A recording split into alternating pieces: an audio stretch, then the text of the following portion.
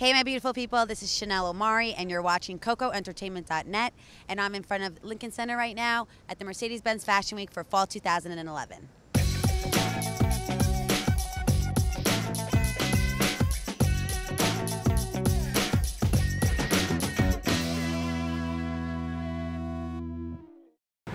Hi, I'm with one of the hottest designers right now, Timo. What is going on? Just finished our show.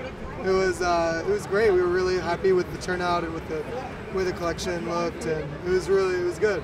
And what was your inspiration for fall 2011? That's the question everyone wants to know. Uh, Colonial India, uh, Gloria Vanderbilt on a fictional trip with Keith Richards. I'm Matt Lowell, and you're watching CocoEntertainment.net. They compare him to John Mayer and Dave Matthews these days, but he has his own unique style. How are you tonight? Very good. How are you? I'm great. You look great. Tell me what about your outfit. What was your inspiration today? Um, just uh, a lot of the older uh, rock stars that I, I adore, but I'm really just wearing All Saints. Talk to us about your album you're working on right now. How would you describe all the songs on that album? Uh, I just did a, an EP that's going to be coming out March 8th.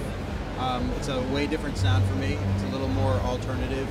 Um, we explored uh, using an orchestra for a lot of the record, and I think the writing was a little different as well. So I think it should be a departure from my older stuff, which I'm really excited about. The ultimate goal really is to just uh, be able to do this forever.